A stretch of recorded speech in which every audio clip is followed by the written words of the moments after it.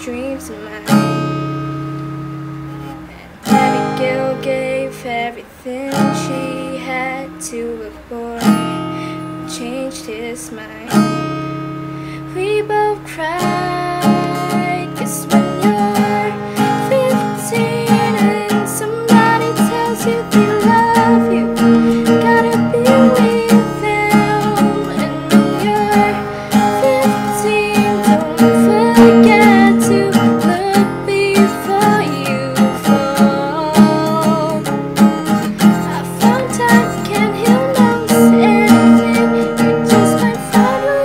supposed to be